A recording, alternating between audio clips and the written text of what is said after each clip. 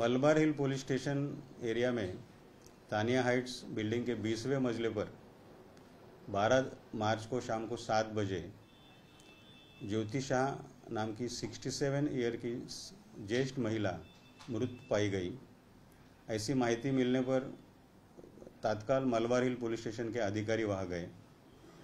मृतदेह दिखने के बाद गला घोट के उसका खून किया गया, ऐसा प्रतीत हुआ।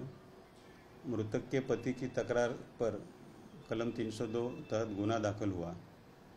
उसी घर का नौकर कन्हैया कुमार संजय पंडित वहाँ से फरार था और घटना के समय वही अकेला मृतक के साथ था।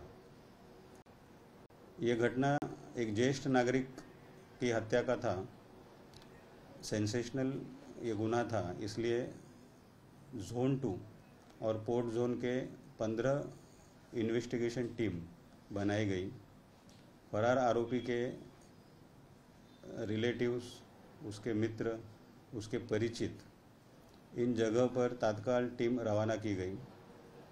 रेलवे स्टेशन, बस स्टैंड, जहाँ आरोपी जा सकता है, वहाँ पर टीम रवाना की गई।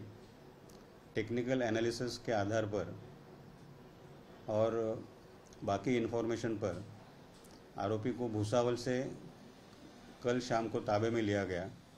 आज सवेरे मलबार हिल पुलिस स्टेशन में आरोपी को लाया गया है और हमारे इस तपास में भूसावल रेलवे, जीआरपी, आरपीएफ और जलगांव जिला पुलिस ने हमें मदद की है। आज आरोपी को दोपहर को कोर्ट में रिमांड के लिए हाजिर किया जाएगा और आगे का तपास किया जाएगा। सर, ये आरोपी का बैकग्राउंड क्या है? ये कहाँ का रहने वाला है? क्या करता था इसके पहले? कहाँ भाग कर जा रहा था? ये आरोपी जो है, वो गाँव करुणा, जिला सीतामढ़ी, बिहार राज्य का है। उसकी उम्र 19 साल है। उसका क्रिमिनल बैकग्राउंड है क्या? इस बारे में अभी हम वहाँ पर तपास करेंगे। इस घर में जो काम पे लगा था वो एक दिन पहले ही काम पर लगा लगाया था।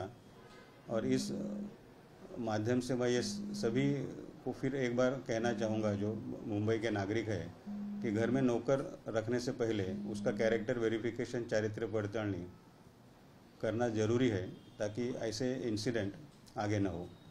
आरोपी अकेला शामिल है इसके साथ और भी लोग हैं?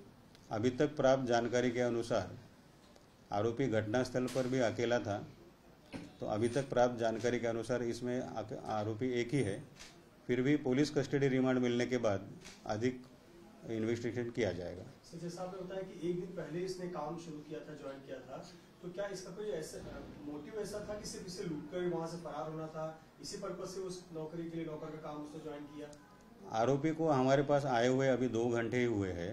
इन सभी सवालों का जवाब आरोपी का पुलिस कस्टडी रिमांड मिलने के बाद हम लेने की कोशिश करेंगे और आगे हम इस बारे में कुछ जानकारी मिली तो हम बताएँगे। सर घर में कुछ हॉल वगैरह में सीसीटीवी लगाए गए थे जिसके कुछ फुटेज आप लोग के पास हो गए उससे कितना मदद मिल पाया बिहेवियर समझने में क्रोनोलॉजी समझने में? घर में जो भी सीसीटीवी था उसका हमें फ़ायदा ये हुआ कि उस समय घटना के समय मृतक और नौकर ये दो ही थे। इसके अलावा कोई नहीं था और इससे हमें लीड मिला है। और महिला की मौत के कितने घंटे बाद सर पता चला पुलिस को? जो इन्फॉर्मेशन हमें मिली है जो आरोपी का वहाँ से जाने का समय वो सौ तीन बजे का है और हमें शाम को सात बजे इन्फॉर्मेशन मिली।